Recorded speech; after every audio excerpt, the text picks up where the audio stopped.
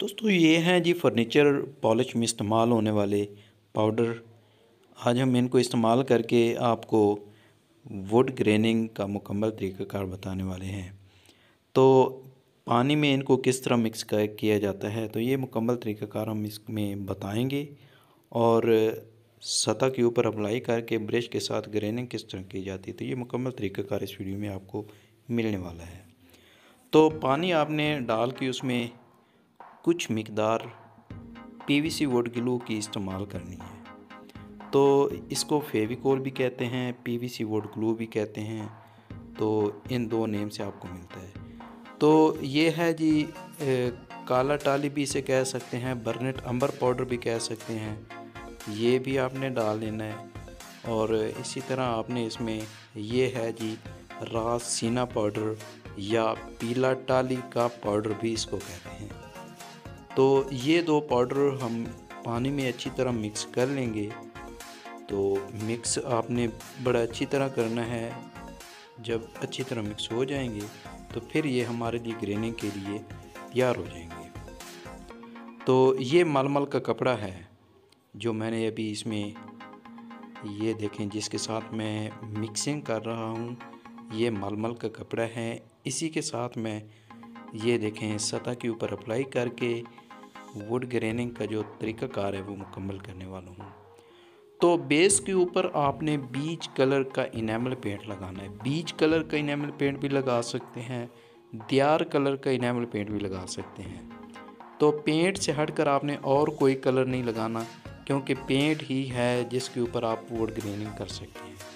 तो बड़े स्लाइटली आपने इसको प्रेसिंग देनी है। ये देखें जिस तरह लकड़ी के रेशे होते हैं, बिल्कुल उसी तरह जो हैं लाइनें वो तैयार हो गई हैं। तो इसके बाद आता है जी ब्रश के साथ ग्रेनिंग का तरीक़ाकार तो ये ब्रश आप देख सकते हैं कि जो एक नॉर्मली पेंट के लिए आप ब्रश इस्तेमाल करते हैं, वो आपने ख़रीद लेना है और उसको आपने इस तरह कलम की शेप में काट लेना है। तो ये देखें इसको अच्छी तरह आपने गुलाई दे देनी है। तकरीबन आपका एक डेढ़ घंटा लगेगा आपका ब्रश तैयार होने में। तो आपने अच्छी तरह बड़ी, यानी कि टेक्निक के साथ तैयार कर लेना है। तो इसके बाद ये आप देख सकते हैं कि मैंने जो पॉलिश तैयार की है, यानी कि इसी पॉलिश को इस्तेमाल करके मैंने पहले सतह के ऊपर प्रेसिंग दी थी और फिर उसी पॉलिश को जो है मल मल के कपड़े से लगा के ये देखें मैं ब्रश के साथ इसको किस तरह यानी कि एक ग्रेन की शेप में तब्दील कर रहा हूँ।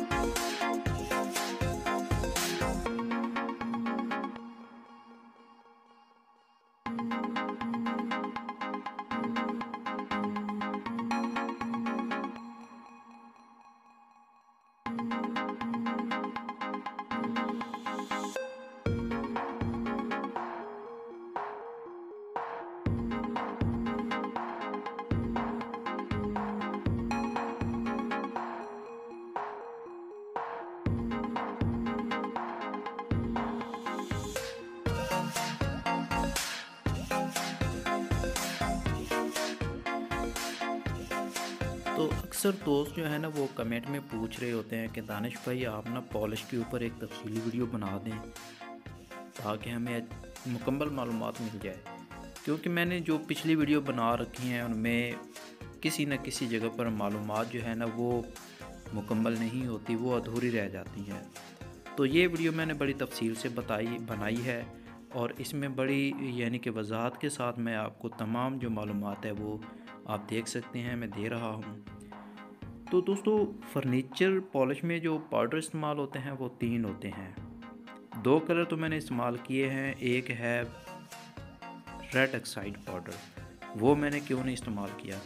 तो वो रेड ऑक्साइड पाउडर इस्तेमाल करने से हमारी पॉलिश जो है, उसकी खूबसूरती में जो है ना, असर पड़ता है। तो वो हम बहुत कम इस्तेमाल कर, ज़्यादातर हम इसे इस्तेमाल नहीं करते, अगर इस्तेमाल करना भी पड़े तो बड़ा यानी कि उसको कम इस्तेमाल करते हैं। तो उसे इतनी खूबसूरती नहीं आती, इसलिए उसे कम इस्तेमाल किया जाता है। दोस्तों बेस कोड के तौर पर आपने दियार कलर का इनेमल पेंट लगाना है, या आप बीच कलर का इनामल पेंट भी लगा सकते हैं। पेंट के अलावा आपने कोई और कलर नहीं लगाना पेंट होना चाहिए।